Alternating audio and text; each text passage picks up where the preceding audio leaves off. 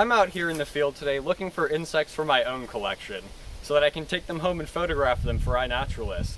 I'm planning on examining them a little bit closer with a microscope or a hand lens. For supplies, I'll be using this butterfly net and some forceps to catch the insects, and these vials to store them in. And I'll also be using my phone so that I can keep track of where I've been collecting. I want to know what's been buzzing around these flowers, so I'm going to go ahead and sweep them with my butterfly net and see what I can catch. So.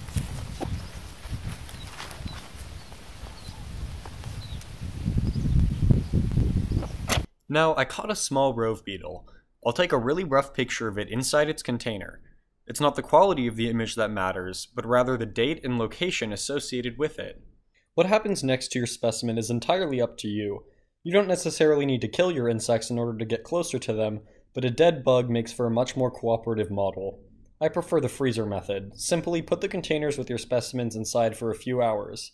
As the insect's metabolism slow, they will fall into a so-called hibernation state, followed by death. I've let my specimen sit in the freezer for about three hours, so now it's time to pin it.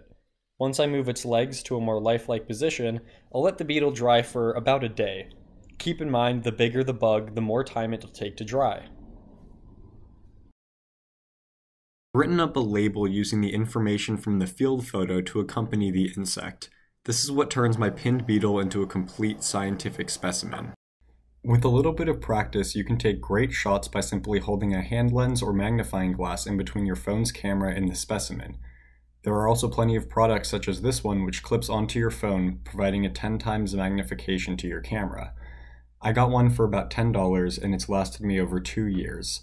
As you can see, I like to take lateral, head-on, and dorsal shots. It's time to format my iNaturalist observation. First, I'll select my images, then change the date and location information to match that of the rough picture that I took in the field. Next, I'll choose the taxon that I'm most confident with, Staphylinidae, or rove beetles, and finally upload my observation iNaturalist is my personal favorite database to upload my observations of insects and spiders to because of its ease of use and the inclusive culture of citizen science that it fosters. Of course, there are plenty of other databases to populate. These include Bug Guide, the Symbiota Collections of Arthropods Network, or SCAN, the Global Biodiversity Information Facility, or GBIF, and many others.